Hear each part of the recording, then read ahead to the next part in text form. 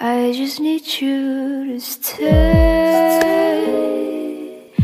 here with me in the cold night to heal me in a time I doubt even just your voice. If it's you, then all okay. I just need your presence.